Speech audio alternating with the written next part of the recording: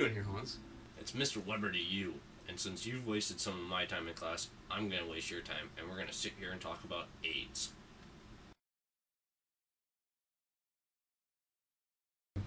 Well, today, Danny, we're going to teach you and the class about AIDS. Oh, AIDS? Sounds fun. And Max, take your headphones out. AJ, get your head off the desk! Okay, Danny, well, let's get started. What does AIDS stand for? AIDS stands for Acquired Immunodeficiency Syndrome. Very good, Danny. But did you know AIDS is a collection of symptoms and infections resulting from damage to the immune system caused by HIV? Isn't HIV human immunodeficiency virus? Very good, Danny. How do you get AIDS? Hookers and drugs, Danny. Hookers and drugs. But more in depth, the transmission can come from anal, vaginal, or oral sex. Well, that's fine and dandy, but what about drugs? Precisely. It can also come from hypodermic needles.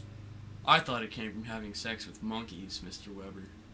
Actually, that is just a common myth.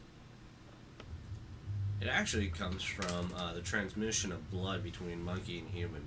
One day, a hunter in South Africa was uh, gutting a monkey and he had a cut, and the blood got all mixed up. How bad is AIDS? Estimates say that AIDS have killed more than 25 million people since 1981, making it one of the worst epidemics ever. So, Danny, what have you learned?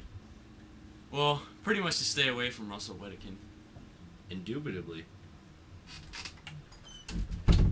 Max, for the last time, take those headphones off or you're getting a referral!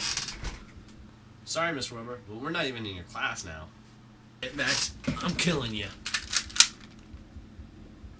Oh, jeez. Danny, I'm out of here. Mr. Weber, this is madness. Madness? This is biology. Oh.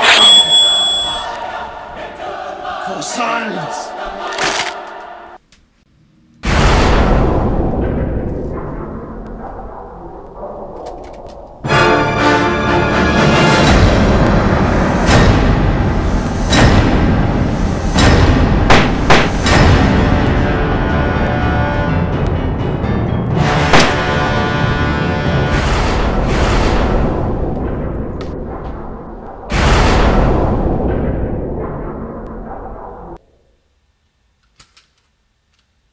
Should have seen that one coming.